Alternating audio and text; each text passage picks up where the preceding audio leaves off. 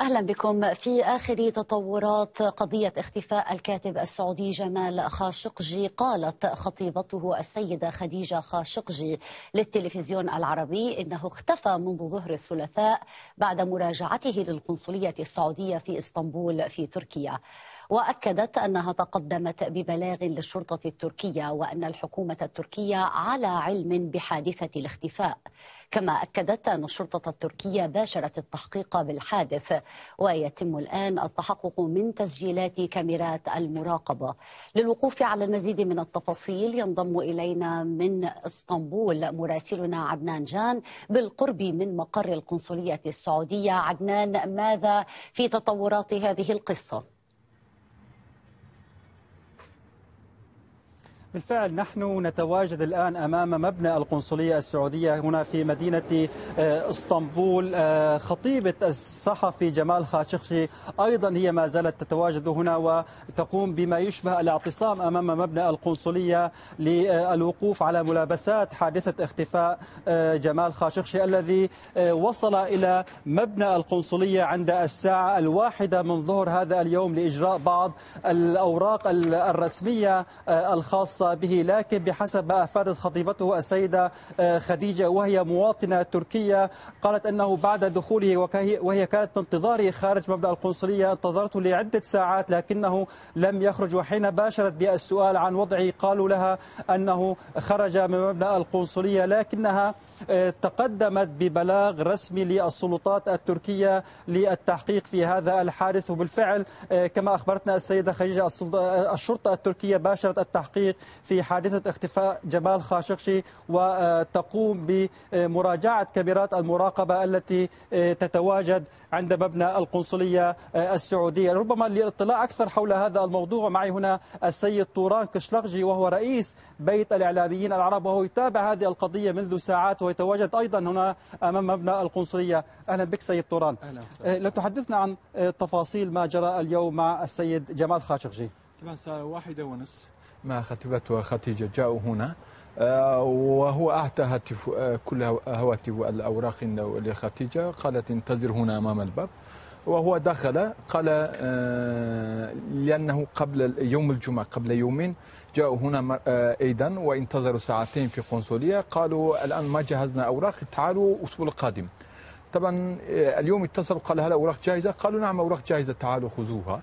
وجاء هنا وحينما دخل في القنصلية خديجة تقول أنني انتظرت آه، ثلاث أربع ساعات الساعة الرابعة ونصف حينما ما جاء أي خبر لأن الأستاذ جمال قال لو ما جاء أي خبر اتصلوا بياسين أكتاي من برلمانيا التركي آه، في حزب العدالة والتنمية. وأيضا آه، قالوا أخبروا البيت الإعلامي العربي لتوران كشاكشي حينما أخبرونا أخبرنا للحكومة وكل تفاصيل هذه الأمر. إذا الحكومة على علم بهذه الحادثة. طبعا بعد خامسة هم حصلوا على علم ولكن بعد خامسة آه، كانوا تتابعوا بكل شيء كل الدقائق يتصلون بنا ويأخذون أخبار معلومات في هذا المجال. آه، وإلى الآن لا يوجد هنا أي خبر. هل هناك أي تواصل رسمي حكومي بين آه، الحكومة التركية والحكومة السعودية؟ الحكومة التركية هناك التواصل مع القنصل والسفير وكلهم هنا. آه، إلى الآن آه، ننتظر ماذا سيكون. شكرا جزيلا لك سيد شكرا إذا حتى هذه اللحظة ليس هناك أي تصريحات رسمية من قبل آه، السلطات التركية حول حادثة الاختفاء هذه لكن الحكومة التركية وبحسب ما أطلعتنا عليه السيدة خديجة تقوم باتصالات مباشرة مع القنصلية والسفارة السعودية هنا للوقوف على مجريات حادثة اختفاء.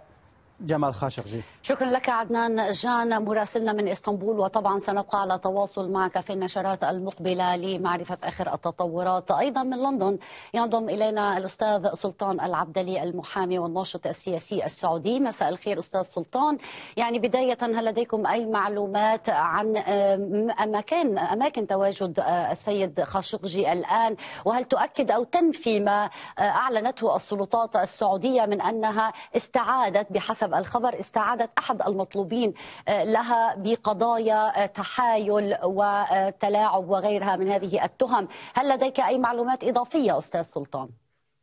مرحبا أهلا وسهلا بكم بالمشاهدين الكرام، الحقيقة أنه هذا خبر يعني أنا شخصيا لم أتفاجأ به لأن هذا ديدن النظام السعودي. ترى بالمناسبة ليس في عهد بن سلمان بل في عهد عبد الله بن عبد العزيز وفهد بن عبد العزيز وفيصل بن عبد العزيز وعبد العزيز والدهم كانوا يغتالون الناس إما داخل السجون أو يرمونهم بالطائرات في الصحراء الربع الخالي مثل فيصل أو يختطفونهم من شوارع بيروت مثل ما فعل النظام السعودي عبر علي الشاعر سفير السعودية في بيروت أيام آه، الأستاذ المناضل ناصر السعيد. هذا جانب.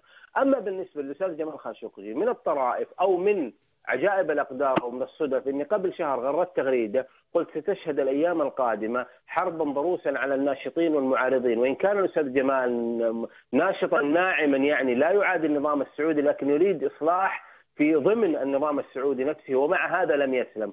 ونعرف أنه كان رئيس تحرير جريدة الوطن الشهيرة في المملكة العربية السعودية ونعرف أنه كان مقربا من رئيس الاستخبارات تركي الفيصل كان مستشارا له. هذا جان مع هذا لم يشفع له هذا. ما حدث بالضبط هو الآتي.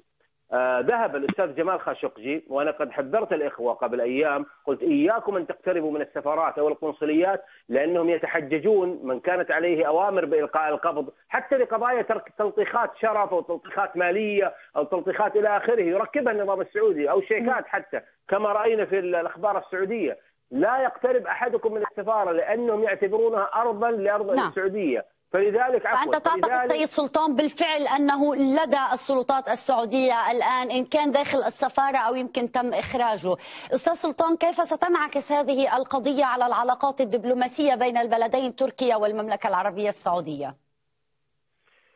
أنا أقول يا سيدتي إكمالا لما بدأته أنا أقول لا يقترب أحد من هذه السفارات وبدأ فعلا الذباب الإلكتروني قبل ساعتين من الآن. يقول ما دام مطلوبا للسعودية فيجب عليه القبض داخل الأراضي السعودية وهي السفارات والقنصليات والطائرات. هذا واحد.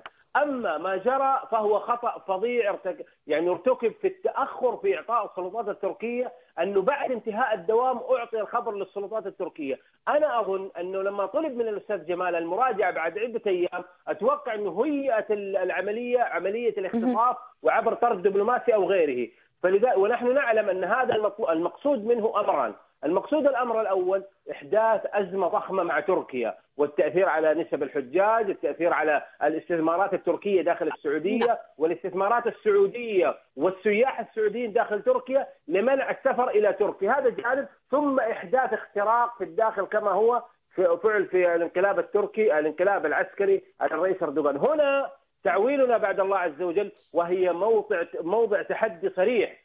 نعتمد بعد الله على نخوة الرئيس رجب طيب أردوغان. أن لك. يلزم الحكومة السعودية بكشف مصير السيد جمال خاشقجي. أشكرك جزيل الشكر الأستاذ سلطان العبدلي المحامي والناشط السياسي السعودي.